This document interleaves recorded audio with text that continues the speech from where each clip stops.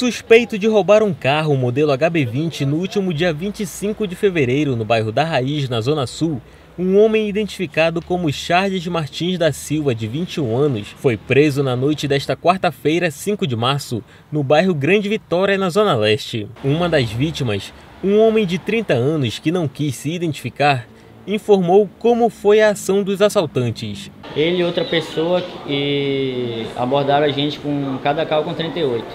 Botou a arma no rosto da minha esposa e no meu rosto, pediram o carro, entraram no carro e saíram. Em disparado. Levaram dois telefones celular, bolsa, carteira, documento. O cabo Souza Abreu, da 4 SICOM, relatou como foi a prisão de Charles. A detenção do Charles ocorreu da seguinte forma recebemos uma informação que um suspeito de ter efetuado um roubo de um carro estava naquelas mediações.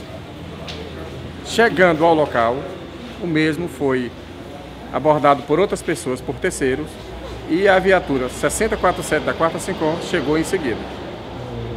Pegando o acusado, conversando com o mesmo, ele informou aonde aquele carro HB20 estava localizado, que um carro foi furtado no dia 25 de fevereiro. O caso foi registrado no 14º Distrito Integrado de Polícia. Charles foi indiciado pelo crime de roubo e foi liberado.